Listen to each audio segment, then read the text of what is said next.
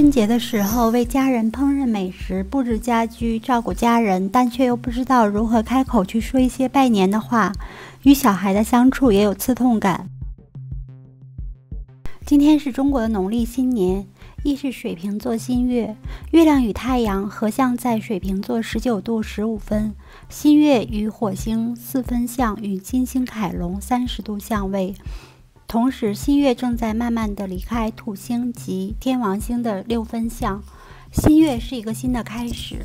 而农历新年又刚好是一个新的开始的时刻。水瓶新月为中国春节这样一个充满了节日喜庆氛围、阖家团圆的日子，带来了一些冷静和理智，也带来了一丝距离感。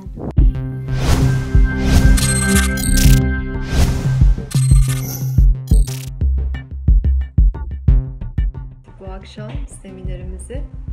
canlı olarak mobil uygulamamız üzerinden yapıyoruz.